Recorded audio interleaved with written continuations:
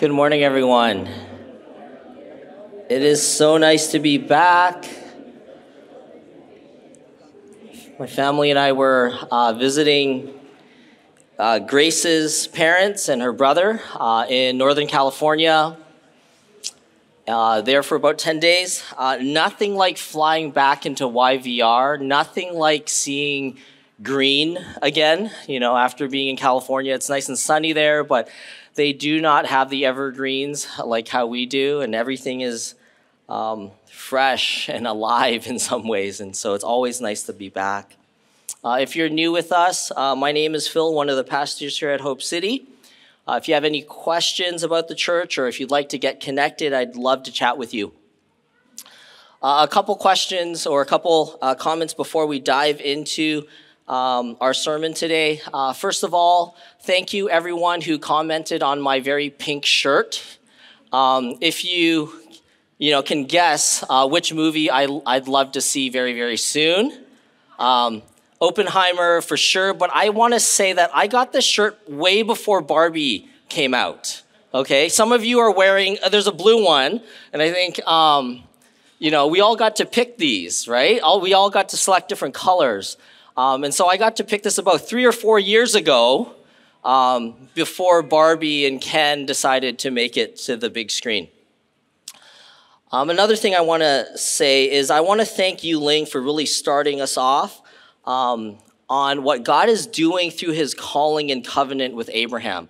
The next couple weeks we're going to spend together, we'll be exploring Abraham's journey of faith, Abraham coming alongside what God is doing to make the world new again and rescue it from sin. And so, so far in our journey uh, through Genesis, we've looked at the beauty of creation. We've spent a lot of time looking at the results of the fall and the pain that resulted from sin entering into the world. And now, through Abraham, we're going to spend some time looking at the beginning story of God's work of redemption. That's what we're doing now. God has started a new work he has spoken it into existence, speaking, calling Abraham and his family into this new work that he's going to do to redeem the world. But today we're going to stop at chapter 16 of Genesis. We're going to be exploring the story of Hagar. Uh, hands up, how many of you have ever heard a sermon on Hagar? Specifically, one, okay, out of many of us, some of us. Three or four. Okay, good, good, good. So, not just, you know, this won't be completely new to you, but actually, as I grew up in the church, and I'm 42 right now, I have never heard a story on Hagar. Whenever we go through this part of Genesis, it's always about Abraham and Sarah, and then we get to Isaac, right? There isn't a, a sermon necessarily about Hagar, and that's what we're going to do today. We're going to dive into her story because scripture lifts her up and provides her story as something that's important for us to know and meditate on. This is the story of Hagar. She's actually the female slave of Sarai. The title of the sermon today is Hagar. And this is what she says. She proclaims in the passage that we explore today. She says, God, you are the God who sees me which is a profound thing to say about God because it expresses Hagar's reality where no one truly sees her except God. And that's what we're going to see in this story. No one sees her except God. To everyone else, to Abraham, to Sarah, she is just a female slave, no personal rights. They don't even refer to her by name in this narrative. The narrator does, but they do not. She is reduced to a category, specifically that of a slave, rather than that of a person. And perhaps just looking around the room and knowing our own stories, some of us know what it's like to be invisible to those around us. Or if we're not invisible to those around us, we know what it's like to be seen and looked down upon. Perhaps they don't see us or they look down on us because of race or ethnicity or origin. Perhaps it's because of gender. Perhaps it's because of socioeconomic status. Perhaps it's just our lower position on the org chart and we don't matter. Or maybe it's our health issues. Maybe you and I know what it's like to be reduced by others. Perhaps you know what it's like not to be seen by others or to be looked down upon. A few weekends ago, my family and I, uh, we were down in Seattle for a soccer tournament that my son Micah was playing in. Uh, they were playing teams from all over Washington, all over Oregon. And at this tournament, uh, he had his first experience of racism. Long story short, one of the opposing players on the other team called him, and I will edit for language, an effin' Asian. Okay, called him an effin' Asian. And um, after the game, he and I told Grace, uh, or he told Grace and I what was going on. Uh, while we were driving back to the hotel, again, uh, my two girls were in tow as well. And at the hotel, you know, it's about a good 20 minutes uh, from the soccer field. So we had a pretty good family discussion on things like racism, how God made each person in his image, imbued with his value, everlasting, that we are all the same and wonderful and yet different in God's eyes. And our differences is what makes us wonderful. He made those differences. And we also talked about how we are to respond to racism as people who follow Jesus. And the kids got to ask some of their questions, and, and Grace and I got to answer them the best that we could. And then things got silent. And in my mind, I was driving, I was like, oh, good, the kids are really thinking about this, you know? This is a part of their world, part of their life now. You know, and I, in a way, I was like patting myself on the back for guiding them through this pivotal moment in their lives, right? uh, coming into their own as Asians who are followers of Jesus. And then breaking that silence is Kayla, my six year old. And she has this to say to kind of like wrap everything up for us. She says, Well, Micah, at least you're not an effing racist. so I'm just telling you now because she starts grade one in in, in September. Uh, I know she's got grammar, you know, the use of words, where adjectives go, but I expect a couple calls as well uh, this fall. Um, how we deal with that, I guess we're going to have stories for another time. But by just looking around in this room, we come from all over the world. I think in some ways you and I understand what it, what it means to be reduced by others to be reduced by how they see us. And Hagar, of all people in the first 16 chapters of Genesis, she lives this. This is her story.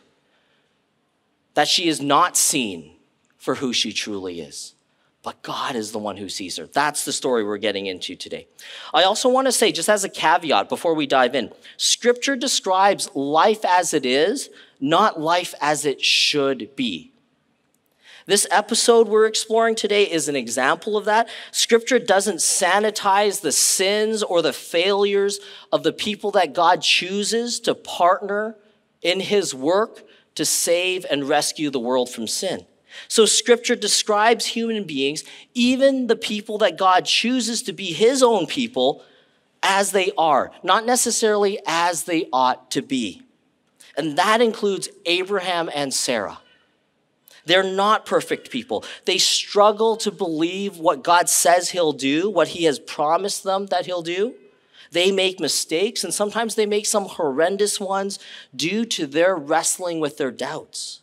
And all of this is part of the journey of faith of God's chosen people. These are the people that He's chosen to be His own, to work with, to bring salvation through. Scripture also describes the cultures um, and the times that God's people live within. And God's people are broken people living within a broken world. They live within the norms of an ancient Near Eastern culture and society where slavery is a fact and a reality. And even God's people participate in it without any qualms.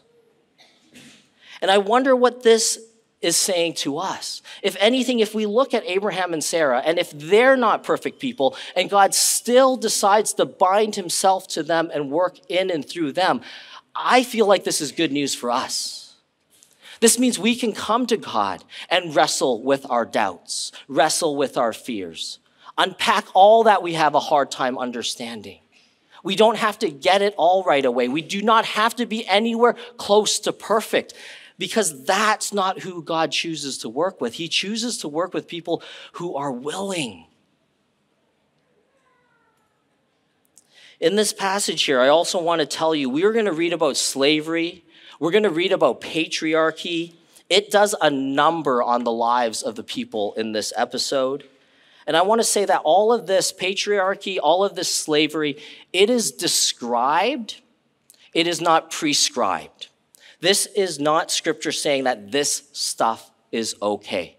Rather, scripture is merely saying this is what the world looks like when sin has entered in and broken our relationships to a point where it looks like this. This is the way things are, not the way things ought to be. And in this episode, you and I will see why. Okay, so that's where I want, that's just a, a bit of introductory stuff before we dive in. Let's dive into the passage. It begins uh, Genesis 16, this is verses 1 to 2. Now, Sarai, Abram's wife, had borne him no children, but she had an Egyptian slave named Hagar. So she said to Abram, The Lord has kept me from having children. Go sleep with my slave. Perhaps I can build a family through her. Abram agreed to what Sarai said. This episode that we're exploring today, it begins when Sarah and Abraham, by extension, they begin to get worried about God, worried that God will not follow through on his promise to give them a son and build a family through them. A bit of background just so that we can understand why they're anxious, why they're worried, why they're wrestling with doubt at this point. In Genesis 12, and I think Yuling did a masterful job covering this for us a few weeks ago, when God called Abraham, he promised him two things. He promised him land, Canaan, this is the promised land, and he promised him family. And Abraham and Sarah at this point, they were childless at this point. And, and God promised Abraham and Sarah that he would make them into a great nation, a tribe, many descendants. And so there are two promises involved. There's a promised land and a promised family. And to be honest, if you're going to take land, you're going to need people. And so in order to have promised land, you're going to need the promised family first. Abraham understands that. God promises Abraham land and family as a foundational step in making Abraham such a blessing that he is going to bless the entire world. Again, this is not just about legacy for Abraham. This is not just him building a family, generations, and descendants.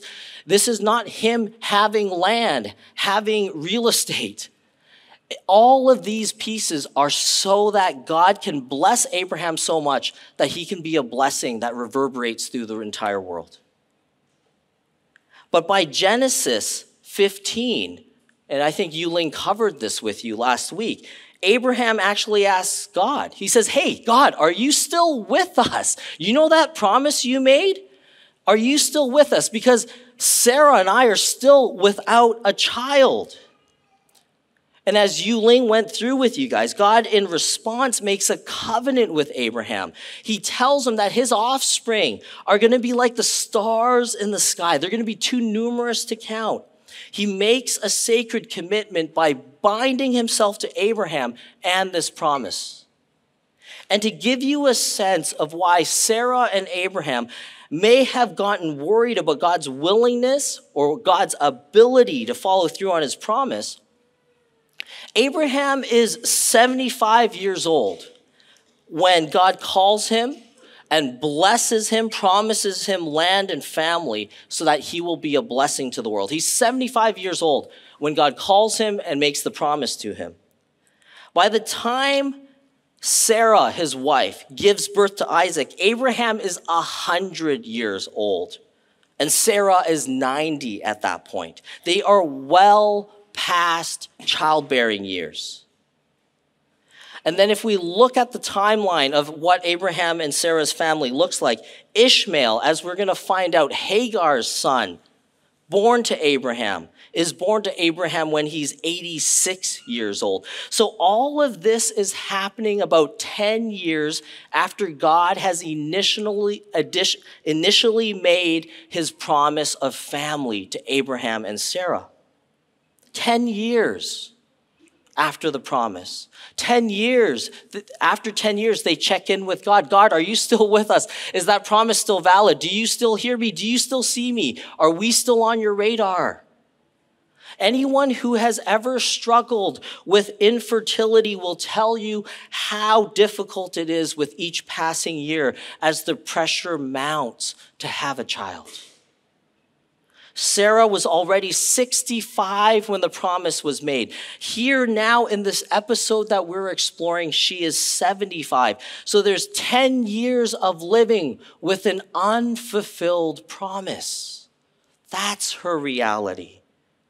And it's within that she decides to take matters into her own hands. We're given insight into how she sees her own inability to have children. We're told that she sees her childlessness as the initiative of God. The Lord has kept me from having children. That's her conclusion after waiting for 10 years after the promise, where nothing is happening. Her solution, though, and again, she's resourceful. Her solution is that she's going to give her slave Hagar, who is young of childbearing age, to Abram as a wife, as a surrogate to build a family through. This was common ancient Near Eastern practice. And she says this perhaps I can build. Perhaps I can build. I don't know if you hear it, but it echoes the builders of the Tower of Babel who wanted to make something of themselves rather than let God make something of them. Again, this also echoes Eve's approach in the Garden of Eden. She decided to take for herself because she couldn't trust God to give something good to her. There is no consultation with God.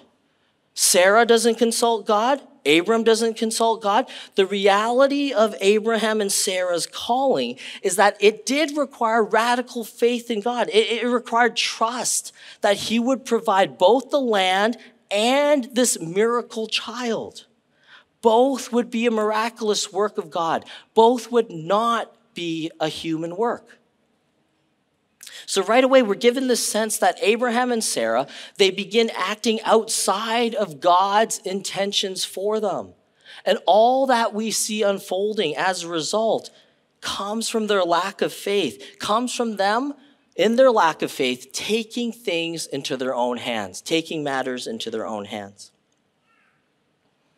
This is verses 3 to 4, and it reads like this So after Abram had been living in Canaan 10 years, Sarai, his wife, took her Egyptian slave Hagar and gave her to her husband to be his wife. He slept with Hagar and she conceived. When she knew she was pregnant, she began to despise her mistress. Again, uh, Abram and Sarai did not consult God with this plan. They do not consult Hagar. She is simply treated uh, as property, not as a person, and this is per the societal norms of those times. Again, just because it's the societal norms of the times doesn't make it right. Scripture is, the, again, describing life as it is, not life as it should be. And the result of this is that Sarah gets everything that she planned for and nothing that she hoped for. Hagar is pregnant with Abram's child, and immediately the family dynamic changes. We don't know how this is expressed, but the text tells us that Hagar began to despise her mistress, to look down on her, to disrespect her, to be insubordinate to her. And if we look into the ancient Near Eastern laws, there were actually laws that governed this exact circumstance and situation because of how important it was in that culture at that time for a family of means to produce an heir. If the wife could not produce an heir, perhaps, according to the ancient Near Eastern laws, a concubine or a second wife could. There were laws after conception that protected both the legal position of the first wife. She could not just be cast aside. She could not be supplanted. But it also, on the other hand, protected the life and the rights of the concubine who produced the heir. The surrogate's life still matters. Simply put, the, the wife could not lose her standing in the family to the concubine.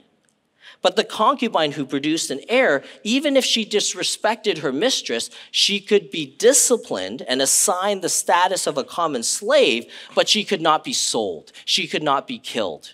That's not how it worked. This is some attempt at rights and justice in a very broken world. The story goes on. This is verses 5 to 6. Then Sarai said to Abram, You are responsible for the wrong I'm suffering. I put my slave in your arms, and now that she knows she is pregnant, she despises me. May the Lord judge between you and me. Your slave is in your hands, Abram said. Do with her whatever you think best. Then Sarai mistreated Hagar so that she fled from her. Sarai, now dealing with bla- uh, the blatant disrespect from Hagar, appeals to Abram as the male head of the household in the ancient Near East to deal with this dynamic, this situation. And in echoes of Genesis 3, after the fall of humanity, she shifts blame to Abram, even though all of this was really her plan to begin with. Abraham, kind of like Adam, he shrugs off the responsibility as well. He doesn't do anything. He says, Well, you just do what you think is best. And Sarai, in her appeal to get Abraham to do something about this conflict in the home, appeals to a higher court. She says, If you don't do something, God will. May God judge between you and me. You better do something, Abram.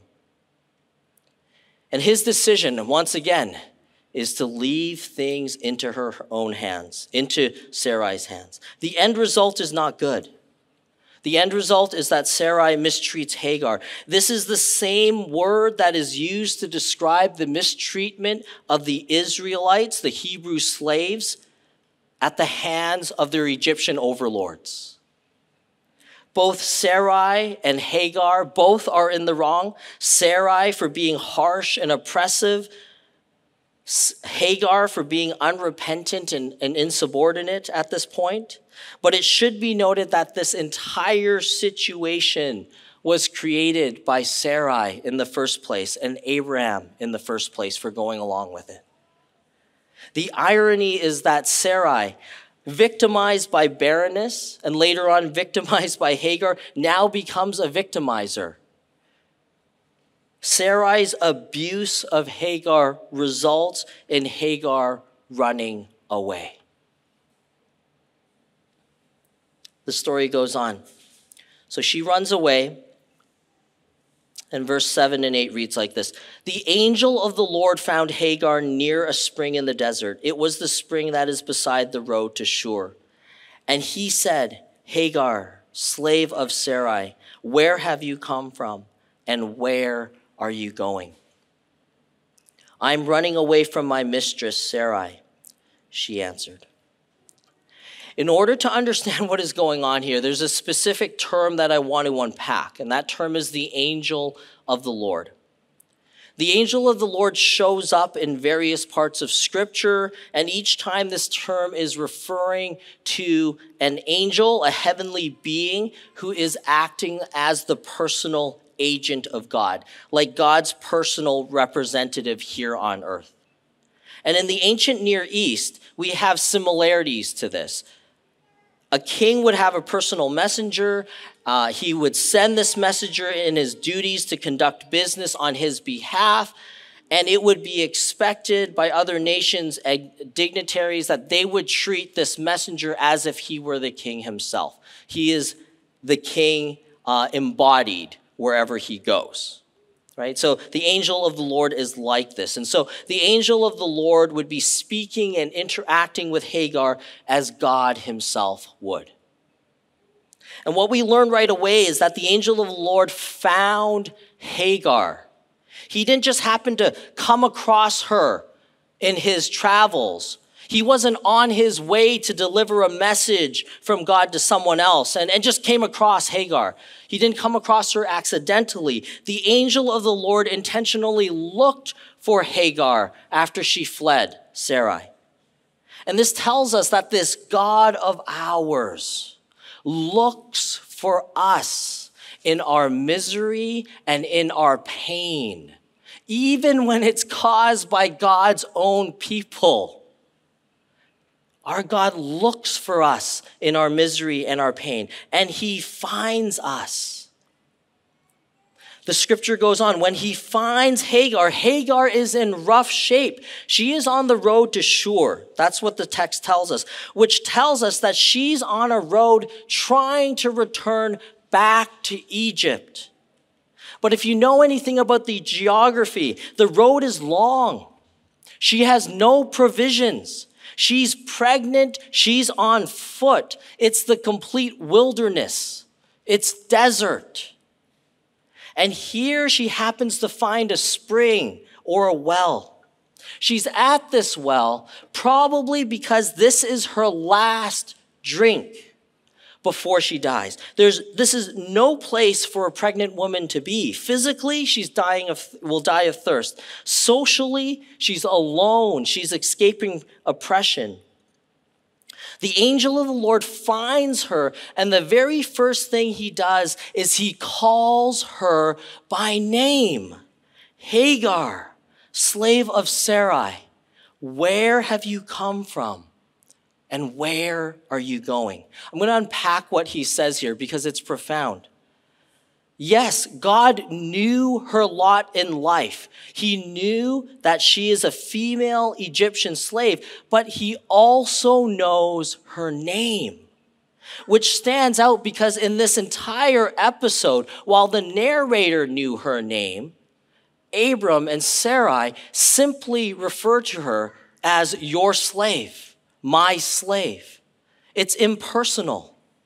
To them, she's property rather than a person. But when God calls her by name, he proclaims that her station in life does not define her. God treats her as a person. That even when the people he has called and made a covenant to people that will bear his salvation into the world, when they fail to treat her as a human being and as a person made in the image of God, he nevertheless will. In a society that is patriarchal to this extent, in a story that is Israelite and Hebrew centric, in a culture that saw slaves as property, where Hagar throughout her life was treated as a nobody, God calls her by name. And then God asks her two questions. He says this Where have you come from? And where are you going? Glenn Packiam, pastor of Rock Harbor Church in Costa Mesa in California, uh, also he's uh, an author of many books. He says this He says, when God asks a question, he is not launching an investigation, he is staging an intervention. When God asks you and me a question, he is not trying to convict us. He is trying to save us. He is more interested in rescuing you than finding fault with you.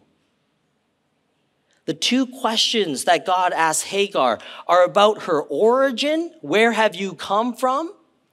And about her destiny, where are you going? You can just imagine that sitting at this well, Hagar probably thought that she knew her origins and her destiny. She was a slave from Egypt. Her life has been marked by poverty and oppression. She is property. That's her origin story. And in that moment, she probably thought that she also knew her destiny as she was dying of thirst. She would die at this well with her unborn child. In her life, she was a slave, a nobody. In her death, she would also die as a slave, die as a nobody. Again, this is not an interrogation. When God asks questions, He is staging an intervention. He is going to do something in Hagar's life to turn things around. And this tells us that when God comes to us and asks, Where have you been? And where are you going? He knows where you've been. He knows where you're at. He knows where you're stuck. And He cares about where you're going. The story goes on. This is verses 9 to 12. And then the angel of the Lord told her, Go back to your mistress and submit to her. The angel added, I will increase your descendants so much that they will be too numerous to count. The angel of the Lord also said to her, You are now pregnant, and you will give birth to a son. You shall name him Ishmael, for the Lord has heard of your misery. He will be a wild donkey of a man. His hand will be against everyone, and everyone's hand against him. And he will live in hostility towards all his brothers. A couple of instructions that God gives Hagar. You need to go back to Abram's house, back to Sarai. You need to submit to her. And I want to make it clear that this is not because God approves of how Sarai treated Hagar. It's not because God condones slavery, but because in this situation there was no other way for Hagar's life and the life of her child to be saved. She could not survive on her own in the wilderness. She needed to return to Abram's household, be covered by God's blessing over Abraham and all that he has. Later on, we do see when it was time to leave, God would provide for her and her child in a new way. We see this in Genesis 21. We read that God was with the boy as he grew up. I don't know what image of God comes to mind for you when you think of God. I grew up thinking that God would only bless a very small number of people, these people who please Him by living their lives according to strict definitions and rules. But the more I encounter the scriptures, the more that I see it, it doesn't work that way. God doesn't just bless Abram and Isaac. God blesses Ishmael. God is with Ishmael as he's growing up. He's with his family, causing them to thrive and become nations as well. God's blessing is, is so great. It's lavish. It runs over. But back to this episode, God also wanted Hagar to know that she would share in God's blessings, be a part of what God is doing. She is not outside of God's blessing to the world. She is not an outsider. She is not unnamed. She is not unseen. So much so that God would bless her by proclaiming, I will increase your descendants so much that they will be too numerous to count. I don't know if you caught that, but that's exactly the same blessing that God gave Abram in chapter 15. That his descendants would be too numerous to count, just like the stars in the sky. That's the same blessing that God gives Hagar here. Right at the beginning of God's story of redemption, God is going to do something that is going to bless the whole world, save the whole world through Abram. But while he's at it, he is blessing everyone as he goes. She's going to share in God's blessings. God makes this clear. His blessing is for all. It's for Abraham in such a way so that one day through Jesus, the whole world will be blessed and saved. But God's heart is also so great that it covers uh, all that he has made. And we see this in him blessing Hagar. Hagar may know her origins. She may think she knows her destiny. She may think that she will die of, salva- of starvation and exposure and, um, and thirst at this well, but God has a future for her and for her unborn child. She has a destiny, a glorious one, one that's even greater than she's ever imagined. It's evidenced by her son's name, Ishmael, means God hears. God hears her cries of misery. The story goes on, verses 13 to 14. She gave this name to the Lord who spoke to her You are the God who sees me. For she said, I have now seen the one who sees me. That is why the well was called Beer Lahai Roi. It is still there between Kadesh and Bered. How does Hagar respond to all that God has proclaimed and promised to her? When Hagar saw that God wanted to bless her, her life and her outlook is transformed. She's no longer gloating about being pregnant.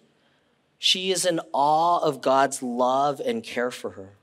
And she responds by being the first person in all of the scriptures, not just the book of Genesis, to actually name God, to give God a specific name. And this is profound. This is a woman, a single mother, an Egyptian slave. God calls her by name. Abram and Sarah do not. And in response, Hagar is the first person in all of the scriptures to name God. I wonder what this tells us. To me, it tells me that God has this wonderful upside down way of exalting those who are vulnerable. Jesus tells us that the first shall be last because his father has been doing this kind of thing since the very beginning. Hagar names God El Roi, the God who sees me. No one else sees her. No one sees the image of God in her. No one else calls her by name. But God sees her, calls her by name, not only sees her misery and responds by blessing her and lifting her out of it. Hagar names God El Roi She's telling us that she didn't just learn something about God, some concept about his goodness, some teaching that is passed on to her. She's telling us that through this interaction with God, she has seen God herself. She's seen his character, seen his heart. She knows that he is rich in mercy and abounding in love. The story goes on verses 15 to 16. So Hagar bore Abram a son, and Abram gave the name Ishmael to the son she had born. Abram was 86 years old when Hagar bore him Ishmael. Hagar, as we find out, goes back to Abram and Sarai, gives birth to Ishmael. She goes from death to life because God has found her. To summarize, though, for Abram and Sarai, the tension of waiting upon God for this precious son, it just increases all the more. And in a way, this is what happens when we take things into our own hands. God will still do what he's promised to do. But at this point, we see things got complicated, things got more difficult. But for Hagar, who is, you know, the, the main character in this story here, in at least in chapter 16, we see God rewriting her story. God is changing the way she will answer the question Where have you come from? Where are you going? And I think for us, this tells us that God is the God of our origins, and God is the God of our destiny as well. God is the God of our past, He is the God of our future, and because of our God, our past will not dictate what our future will look like. God's blessing will instead.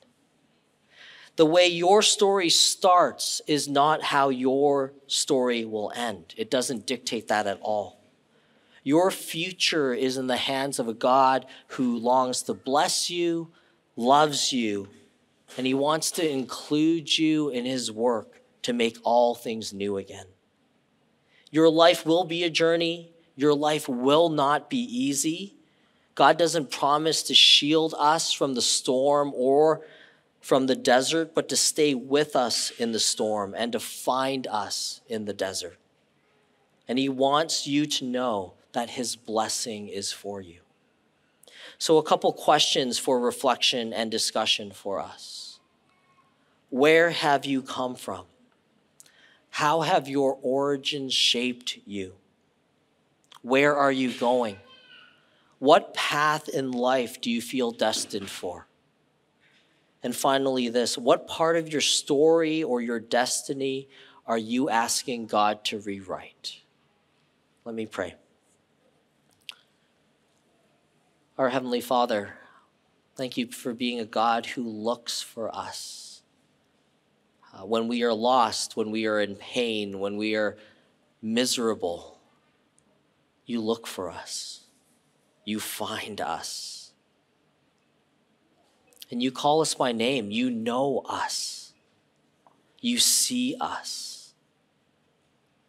Pray that we would be your people who not only experience you finding us, seeing us, calling us by name, we'd be your people who see you intervene in our lives, rescue us so much so that we would embrace your call to do the same for others, that we would be part of your work to make things new. We would be sent out, helping others see the one who sees us, rescues us, and loves us. We pray this in your name. Amen.